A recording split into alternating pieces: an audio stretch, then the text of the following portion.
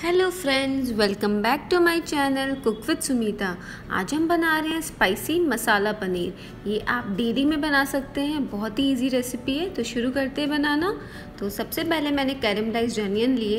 ये मैंने आपको राजमा मसाला में बताए थे कि कैसे कैरमलाइज करा जाता है अनियन को। और इसमें मैंने डाला दो से तीन चम्मच पानी और इसको मिक्सी में पीस लिया। और इसको साइड पर रख देते हैं। अब एक पैन में हम ले लेते हैं तेल। तेल जब अच्छे से गर्म हो जाए तो उसमें हम डाल देंगे जिंजर गार्लिक पेस्ट ध्यान रखें जिंजर गार्लिक पेस्ट जलना नहीं चाहिए। अगर आपको लग रहा है चिपक रहा है तो आप थोड़ा सा पानी डाल सकते हैं। और इसके बाद मैंने डाल दिए बड़े बड़े कटे हुए प्याज। मैंने प्याज को चार टुकड़ों में काटा है, एक प्याज को। और मुझे जब भी ये लगा थोड़ा पैन पे चिपक रहा है तो मैं हल्का हल्का पानी का छीटा दे रही हूँ। इसके बाद मैंने डाल दी लाल पीली शिमला मिर्च। और फिर हाई फ्लेम पे इसको कंटिन्यूस चलाना है हमें। एक एक दो दो मिनट के बाद हम अपनी नेक्स्ट चीज़ डाल सकते हैं। इसके बाद मैंने डाल दिया 100 ग्राम क्यूब में ही कटा हुआ पनीर और डी सीडेड टमाटर। जब जब मुझे लग रहा है चिपक रहा है, मैं थोड़ा थोड़ा पानी का छीटा देते जा रही हूँ। अब मैं डाल रही हूँ मसाले।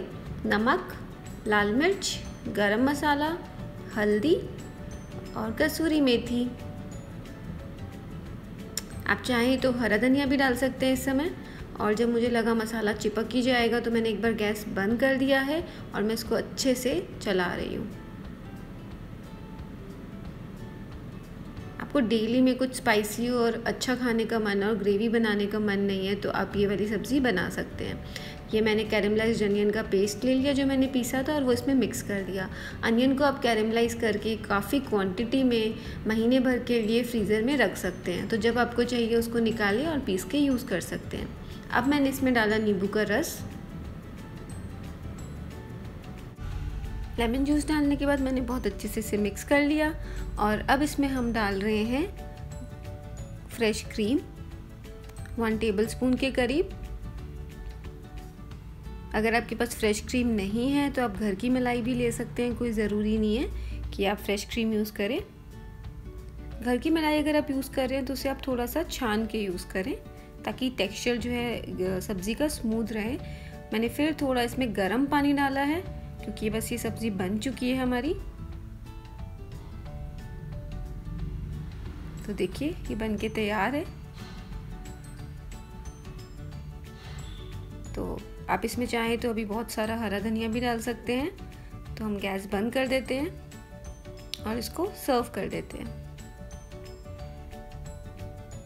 तो आप इसको तंदूरी रोटी, मिस्सी रोटी, नॉर्मल पराठे के साथ, कोई भी अच्छी सी रोटी के साथ, थोड़ी एग्जॉटिक रोटी हो उसके साथ आप इसे सर्व कर सकते हैं। तो मेरे घर में बहुत पसंद करी जाती है। आप भी ज़रूर बनाइएगा और बताइएगा कैसी बनी।